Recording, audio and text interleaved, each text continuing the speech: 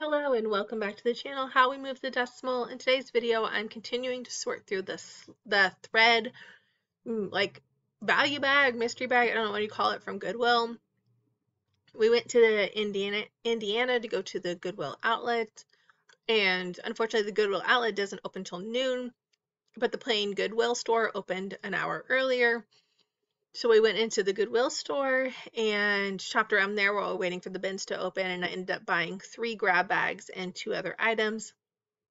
The three grab bags were two of thread and one of yarn. This is me. I am Google lensing what this item is. I am using the image search on eBay. It's a very odd plastic item. I thought I was missing a piece, but apparently I wasn't. It has to do with bobbing, putting thread on a bobbin. Again, I was very perplexed. So I had to use both of those tools to find it. I'm sure if I was really into sewing, I would know right away what it was, but I'm not. I can like sew pillowcases. This is me looking at pictures of items that's like it, making sure everything fits, taking a picture of it like the other items were taken a picture of. So it always pays off. But this is what I was talking about earlier in my previous videos, where if you don't know an item, it takes longer to list it. So I'm having to go and look this up. I'm having to look up, I mean, not just what it is listed for, not just what it's selling for, but I'm having to look up and see what the actual item is. So that is taking me longer compared to something where I already know what the item is, the basic price range and stuff, so I don't have to look up as much. Now, if I find this again, I will know, but that's the problem when you sell everything that sells. Uh, we don't have a niche, we don't sell only clothes or only shoes or only antiques or cast iron banks or because we are a jack of all trades as the saying goes, you're a jack of all trades and a master of none. I'm not an expert in anything. I know a little bit about everything. So it does take me longer to find things. If I'm not aware of them, if I haven't had personal experience with them. I love watching videos of like bolos and stuff, and especially the ones that show like the tags on them so you kind of get a sense of what you're looking for. But all of this does take time. I'm having to look stuff up. I'm having to list things that I'm not aware of. And you also run the risk of selling things way too low or listing things way too high and having them not sell for gears because you're unaware of what you really have. There are um, groups on Facebook, groups on other marketplaces that you can look up and figure out, you know, that you can post an item, say, what is this item? I'm a member of a Facebook group where people often post items and say, oh, you know, what is this? Does anybody have any experience with this? You know, they're not just going to give you the answers, they want you to work for it, but they are very helpful in the group when you haven't identified something. So if you're like, I've looked everywhere, I don't, I can't figure this out.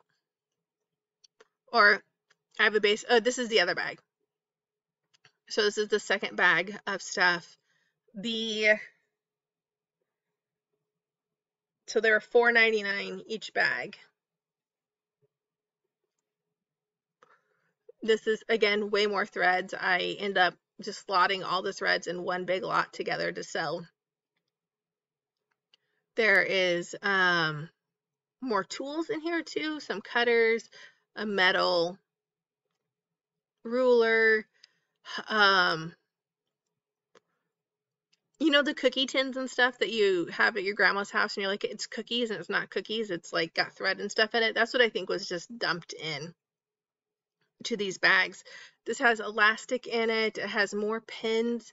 It actually has pins that go to the first bag so i feel like they just dumped whatever into these bags.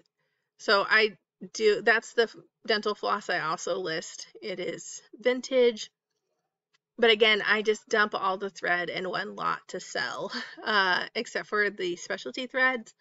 And there were only two of those. And the reason I don't sell those is they weren't selling by themselves anyway.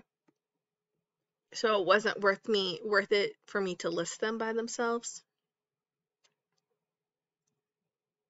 um, little thread boxes, first aid kit boxes. Uh, that one was a Tylenol.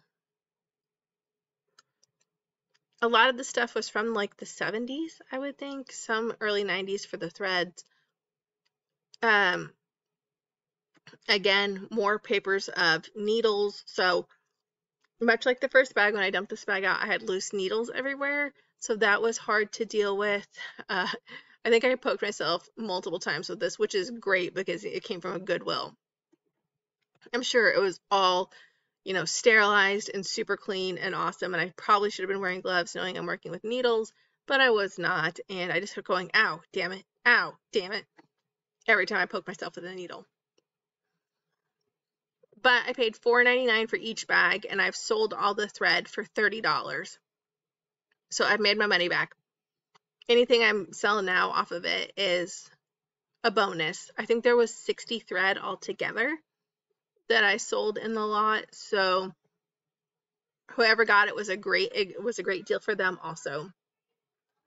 Thread really spiked up during the first part of the crisis that we've had, but now the thread prices are going down since people aren't like freaking out and sewing masks masks and stuff so but like i said if i would not have sold it i would have kept it for myself and used it eventually however since this lot of used thread sold so well for me i now know in the future if i can get large lots of thread at least 60 or sell them for 50 cents a piece so if i had a lot of 20 you know, I'd sell it for $10, $40, $20, so on. I know if I come across another large lot of thread, I can sell that, which is great. So that is one thing you learn from listing new things you're not used to listing, new experiences. I, I know now that used thread does sell. Now, almost all of these bobbins were almost full.